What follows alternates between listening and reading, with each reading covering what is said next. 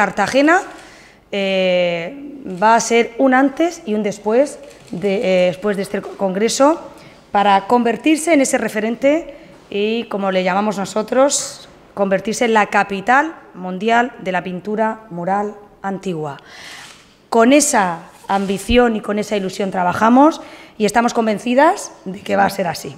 Aceptamos la propuesta que en 2019 eh, nos hicieron eh, para presentar la candidatura para la organización de este evento que tiene una gran trascendencia a nivel mundial, en todo el mundo de la investigación eh, arqueológica. Por eso es tan importante para nosotros hoy contarle a toda la ciudadanía que va a tener lugar en Cartagena, que cuenta con la financiación también de la Universidad de Murcia, de la Dirección General de Patrimonio Cultural y también de la Unidad de Patrimonio Arqueológico, como decía, del Ayuntamiento de Cartagena. Yo creo que el éxito está garantizado. Eh, ya por la asistencia en sí de unos 120 congresistas que proceden de España, de Italia, de Alemania, de Reino Unido, Finlandia, Hungría, Grecia, mm, eh, Francia, Suiza, Túnez, Estados Unidos, Bulgaria, Israel. ¿Me he dejado algún país? Seguro que sí. Eh, pero ya los vamos a ver, van a, van a comenzar a llegar esta semana, bueno, este fin de semana y entre ellos se encuentran también las, principales personalidades dedicadas al estudio de la decoración pictórica antigua. Todo un lujo, la verdad. Tenemos que destacar que este año se celebra la decimoquinta edición de este evento. Comenzó en 1980 y eh, ha tenido lugar eh, cada tres años en ciudades como Atenas, Budapest, Ámsterdam o París y en esta ocasión Cartagena. El programa incluye la visita a los principales sitios arqueológicos de nuestro municipio, comenzando por el Museo del Foro Romano, que alberga pues, una, una interesante colección pictórica que sin lugar a dudas ha sido una de las principales exponentes para la elección de Cartagena también eh, como sede.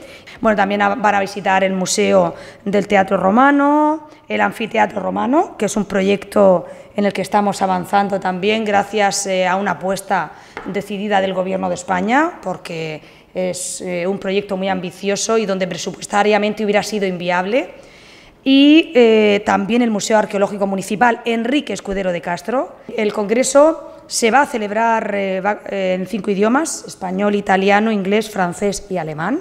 Pero fue precisamente en 2016 cuando eh, llevamos esta propuesta ¿no? de los conjuntos pictóricos que habían salido en el edificio del atrio, cuando mm, ya notamos ese interés y de hecho pues eh, se nos dijo, a ver si podéis organizar. Ese año no, no, tuvimos la oportunidad porque también estaba Nápoles ahí y claro, Nápoles eh, llamaba mucho la atención con, toda, con las ciudades campanas y todos esos conjuntos maravillosos que ustedes conocen.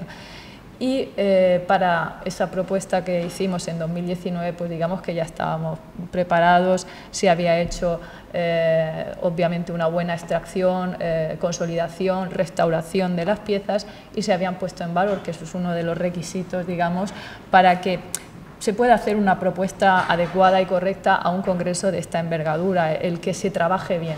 Eh, son congresos trianuales que desde 1980 se están llevando a cabo y que son, tienen la singularidad o la particularidad de, desarrollarse durante cinco días. Nosotros en nuestro caso se han dividido en cinco sesiones donde se habla de los restos pictóricos desde sus procesos de ejecución, desde sus procesos de, de producción hasta la puesta en valor, porque lo que nos interesa es hacer un estudio integral, un estudio transversal como objeto de estudios es la pintura mural, pero desde muchos puntos o desde muchas perspectivas de análisis. Al final ha sido un programa muy completo, tenemos cinco días y había que contar con el mayor número de investigadores, de especialistas a nivel internacional eh, y aproximadamente pues tenemos unas 65 comunicaciones y 31 póster. Bueno, yo solamente dar las gracias eh, sobre todo al Comité Científico de la Asociación por haber apostado desde el primer momento por la presencialidad de este congreso, por la universidad, el apoyo incondicional de la Universidad de Murcia y de, de la Universidad Politécnica de Cartagena y bueno, pues todas las instituciones a nivel arqueológico, Servicio de Patrimonio, Museo, Museo Arqueológico Municipal, Museo Teatro, bueno, pues a todos dar las gracias por apostar firmemente por la celebración de forma presencial de este Congreso en Cartagena.